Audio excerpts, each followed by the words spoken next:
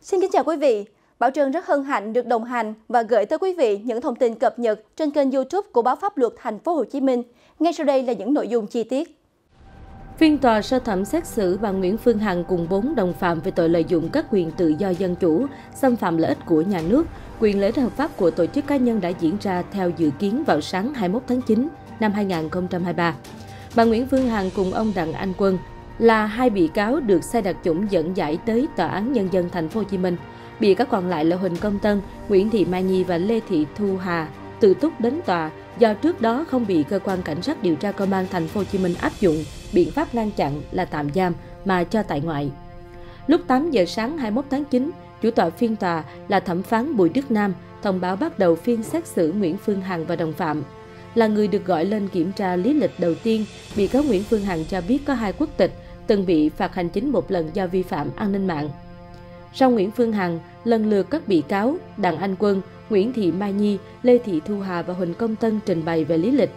Những người được xác định là người có quyền lợi và nghĩa vụ liên quan gồm ông Võ Nguyễn Hoài Linh, bà Lê Thị Giàu, ông Huỳnh Uy Dũng chồng bà Nguyễn Phương Hằng, vợ chồng ca sĩ Thủy Tiên Công Vinh vắng mặt và có đơn xin xét xử vắng mặt. Trước đó, để phục vụ xét xử, tòa triệu tập 12 người có quyền lợi nghĩa vụ liên quan gồm ông Võ Nguyễn Hoài Linh, bà Nguyễn Thị Mỹ Oanh, bà Đặng Thị Hàng Ni, ông Huỳnh Minh Hưng, bà Trần Thị Thủy Tiên cùng chồng là Lê Công Vinh, ông Nguyễn Đức Hiển, bà Đinh Thị Lan, bà Lê Thị Giàu, bà Trương Việt Hà, ông Huỳnh Uy Dũng, Chủ tịch Hội đồng Quản trị Công ty Cổ phần Đại Nam và ông Nguyễn Đình Kim. Luật sư Nguyễn Thành Công, người bảo vệ quyền lợi ích cho ông Nguyễn Đức Hiển, Phó Tổng biên tập báo pháp luật Thành phố Hồ Chí Minh cho biết trước đó vào ngày 12 tháng 9 đã gửi đơn khiếu nại đến Hội đồng xét xử và Tòa án nhân dân Thành phố Hồ Chí Minh về việc xem xét lại tư cách của ông Nguyễn Đức Hiển là bị hại của vụ án thay vì người có quyền và nghĩa vụ liên quan. Tuy nhiên ngày 14 tháng 9, tòa đã có bản thông báo kết quả giải quyết xác định tư cách tố tụng của ông Hiển là người có quyền và nghĩa vụ liên quan là đúng pháp luật. Lúc 9 giờ, hội đồng xét xử kết thúc phần kiểm tra lý lịch trước phiên xử, chuyển sang phần công bố cáo trạng của Viện Kiểm sát. Ông Phạm Ngọc Duy cũng cho biết, ngoài việc báo chí tham gia đưa tin vụ án sẽ được bố trí khu vực tác nghiệp, phóng viên tham dự phiên tòa phải mang theo giấy giới thiệu và thẻ nhà báo, đăng ký tác nghiệp tại Tòa án Nhân dân Thành phố Hồ Chí Minh từ chiều ngày 19 tháng 9 và tối đa không quá hai người một cơ quan báo chí thì người dân quan tâm đến phiên tòa có thể theo dõi thông tin qua các phương tiện truyền thông đại chúng, tránh tụ tập đông người ở khu vực xung quanh trụ sở tòa án, tránh gây ách tắc giao thông. Theo ông Phạm Ngọc Duy, do trụ sở của Tòa án Nhân dân Thành phố Hồ Chí Minh đang trong giai đoạn trùng tu, ngoài ra cùng ngày Tòa án Nhân dân Thành phố Hồ Chí Minh cũng xét xử nhiều vụ án khác nên Tòa án Nhân dân Thành phố Hồ Chí Minh chỉ có thể sắp xếp chỗ ngồi, bố trí trong giữ xe cho những người được triệu tập đến tham dự phiên tòa, như người có quyền lợi nghĩa vụ liên quan hay người thân của các bị cáo, phóng viên báo chí. Những cá nhân được xác định là người có quyền lợi và nghĩa vụ liên quan được Tòa án Nhân dân Thành phố Hồ Chí Minh triệu tập bao gồm ông Võ Nguyễn Hoài Linh, nghệ sĩ Hoài Linh, bà Nguyễn Thị Mỹ Oanh, ca sĩ Vi Oanh, bà Đặng Thị Hàn Ni, cựu nhà báo, luật sư, thạc sĩ luật, ông Huỳnh Minh Hưng, ca sĩ Đàm Vĩnh Hưng, bà Trần Thị Thủy Tiên, ca sĩ Thủy Tiên, cùng chồng là Lê Công Vinh, ông Nguyễn Đức Hiển, Phó Tổng biên tập báo Pháp luật Thành phố Hồ Chí Minh, bà Đinh Thị Lan, bà Lê Thị Giàu, bà Trương Việt Hà, ông Huỳnh Uy Dũng, Chủ tịch Hội đồng Quản trị Công ty Cổ phần Đại Nam, ông Nguyễn Đình Kim đến tham gia vụ án. Theo kết luận điều tra của cơ quan cảnh sát điều tra công an thành phố Hồ Chí Minh, bị can Nguyễn Phương Hằng là tổng giám đốc công ty cổ phần Đại Nam, được nhiều người biết đến và được nhiều người theo dõi trên mạng xã hội.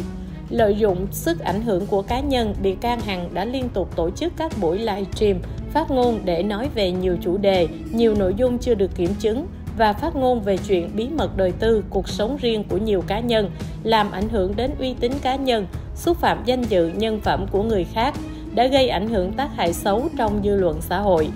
Trong đó, bị can Hằng đã đưa lên mạng xã hội những thông tin thuộc bí mật đời tư, bí mật gia đình, đời sống riêng tư, xúc phạm nghiêm trọng đến uy tín danh dự cá nhân của ông Nguyễn Đức Hiển, ông Võ Nguyễn Hoài Linh, bà Nguyễn Thị Mỹ Oanh, bà Đặng Thị Hằng Ni, bà Trần Thị Thủy Tiên cùng chồng là Lê Công Vinh, ông Huỳnh Minh Hưng, bà Đinh Thị Lan, bà Lê Thị Giàu và bà Trương Thị Việt Hà.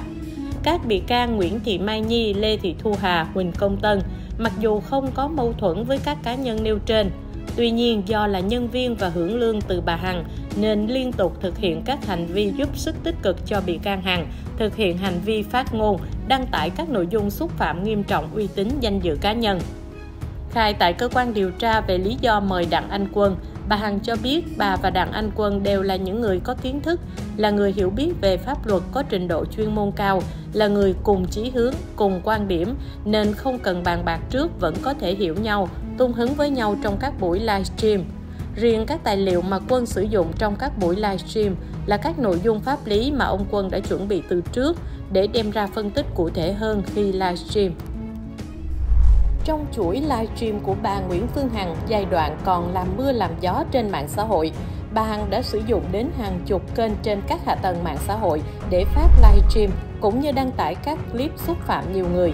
Thời điểm đó, mặc dù đã bị cơ quan chức năng tỉnh Bình Dương nhắc nhở, thậm chí cơ quan chức năng thành phố Hồ Chí Minh đã xử phạt hành chính 7,5 triệu, song bà Hằng vẫn tổ chức sự kiện livestream tai tiếng tại trường đua Đại Nam bằng cách gắn tên những người bà Hằng không ưa cho chó đua ngựa đua. Dư luận cho rằng, với cách hành xử vô văn hóa như trên, cùng các sự kiện vượt quá giới hạn như công kích một loạt cán bộ cao cấp, bà Hằng đã tự tay hủy hoại sự nghiệp của bản thân. Kết luận điều tra nêu rằng, từ tháng 3 năm 2021, bà Nguyễn Phương Hằng đã tổ chức nhiều buổi livestream phát ngôn trực tiếp qua mạng Internet để nói về chuyện bí mật đời tư cá nhân, sử dụng những ngôn từ mang tính chất nhục mạ, xúc phạm danh dự, nhân phẩm của các ông Võ Nguyễn Hoài Linh, nghệ sĩ Hoài Linh, bà Nguyễn Thị Mỹ Oanh, ca sĩ Vi Oanh, bà Đặng Thị Hàng Ni, nhà báo Hàng Ni, ông Huỳnh Minh Hưng, ca sĩ Đàm Vĩnh Hưng, bà Đinh Thị Lan, bà Trần Thị Thủy Tiên, ca sĩ Thủy Tiên, cùng chồng là ông Lê Công Vinh trong các buổi livestream. Giúp sức tích cực cho bà Hằng là Nguyễn Thị Mai Nhi, 40 tuổi, ngụ quận 12, trợ lý của bà Hằng. Lê Thị Thu Hà, 31 tuổi, nhân viên công ty cổ phần Đại Nam. Huỳnh Công Tân, 29 tuổi, trưởng phòng truyền thông công ty cổ phần Đại Nam. Cả ba bị can này cùng bà Nguyễn Phương Hằng đều bị truy tố về tội lợi dụng các quyền tự do dân chủ, xâm phạm lợi ích của nhà nước, quyền lợi ích hợp pháp của tổ chức cá nhân. Kết luận điều tra cũng cho rằng các bị can đã tạo lập quản lý các trang mạng xã hội, đăng tải thời gian chủ đề livestream trên trang mạng xã hội, kết nối các tài khoản mạng xã hội vào Internet, đăng tải nội dung xúc phạm các cá nhân. Bà Hằng là chủ mưu, ba bị can còn lại giúp sức cho bà Hằng. Hành vi sai phạm chỉ dừng lại khi ngày 24 tháng 3 năm 2022, bà Hằng bị khởi tố bắt tạm giam. Trước thời điểm bà Nguyễn Phương Hằng bị khởi tố bắt tạm giam, nhiều cá nhân bị bà Hằng xúc phạm trên livestream đã có đơn tố cáo đến các cơ quan chức năng. Trong đó, người được cho là khởi đầu quá trình làm trong sạch mạng xã hội và đòi lại công bằng cho bản thân, chính là ca sĩ Vi Oanh. Trong đơn tố cáo của mình, ca sĩ Vi Oanh cho rằng trong 7 buổi livestream từ ngày 16 tháng 5 đến ngày 9 tháng 10 năm 2021, bà Hằng đã sử dụng ngôn ngữ phản cảm, giọng điệu quy chuột vô căn cứ nhằm bôi nhọ, vu khống, xúc phạm ca sĩ này với hàng loạt từ ngữ như đẻ thuê, làm gái bao, làm bé, giật chồng. Vẫn theo đơn tố cáo của ca sĩ Vi Oanh, trong buổi livestream ngày 9 tháng 10 năm 2021, bà Nguyễn Phương Hằng cùng người được giới thiệu là tiến sĩ luật Đặng Anh Quân và luật sư Nguyễn Đình Kim đã nói về vấn đề hợp đồng đẻ thuê. Thông qua đó nhằm công khai chế giễu moi móc suy đoán vô căn cứ về đời tư của nữ ca sĩ, cho rằng cô giật chồng là người thứ ba xâm phạm đến cuộc hôn nhân trước đó của người chồng hiện tại, với người vợ trước mới dẫn tới sự ly hôn của họ. Ca sĩ Vi Oanh từng tố cáo bọn họ kẻ tung người hứng một cách say mê, giọng điệu chế giễu đã hạ nhục tôi bằng thái độ hả hê cợt nhã. Thực tế qua xác minh, bà Nguyễn Phương Hằng đã sử dụng 12 kênh trên mạng xã hội để xúc phạm, xuyên tạc, nhục mạ người khác. Các buổi livestream của bà Hằng thu hút đông đảo người xem, nhiều tài khoản mạng xã hội cũng bình luận, chia sẻ với thái độ ủng hộ, xúc phạm đến cá nhân, gia đình các nhà báo, nghệ sĩ. Theo sát bà Hằng là đội ngũ các YouTuber, họ sản xuất các nội dung trên mạng xã hội để ăn theo, xúc phạm, bôi nhọ một số người mà bị can Hằng nêu tên. Từ khi bà Hằng có hành vi livestream xúc phạm các cá nhân, các cơ quan chức năng đã mời lên nhắc nhở, khuyến cáo ít nhất là 4 lần. Tuy nhiên, bà Hằng né tránh, không chấp hành khuyến cáo, phân tích của các cơ quan chức năng. Mọi rắc rối của bà Phương Hằng được cho là bắt đầu từ ngày 1 tháng 3 năm 2021. Thời điểm đó, bà Nguyễn Phương Hằng và ông Huỳnh Uy Dũng làm đơn tố cáo Lương Y Võ Hoàng Yên vì tội lừa đảo chiếm đoạt hơn 200 tỷ đồng của họ. Theo bà Hằng, mục đích của việc kiện tụng này không phải là muốn lấy lại tiền mà vợ chồng bà chỉ muốn vạch trần hành vi khám chữa bệnh của lương y Võ Hoàng Yên. Ngày 5 tháng 5 năm 2021, bà Phương Hằng livestream nói về giới nghệ sĩ đang bày đàn cấu kết bên vực nhau để ăn hiếp kẻ yếu. Bà cũng cấm những nghệ sĩ đến Đại Nam du lịch chụp hình. Nếu bị phát hiện sẽ bị đuổi thẳng cổ. Những video livestream của Phương Hằng khiến cư dân mạng dậy sóng và ném đá. Có nhiều nghệ sĩ đã lên tiếng cũng như lên án bà Phương Hằng. Sự việc này gây náo loạn showbiz trong thời gian gần đây. Nhạc sĩ Nguyễn Văn Trung, nghệ sĩ Kim Tử Long, nghệ sĩ nhân dân Hồng Vân, diễn viên Gia Bảo đều lên tiếng đáp trả bà Hằng gay gắt. Tối ngày 14 tháng 5 năm 2021, bà Phương Hằng khiến nhiều người ngỡ ngàng khi livestream bên nhân vật tai tiếng Duy Nguyễn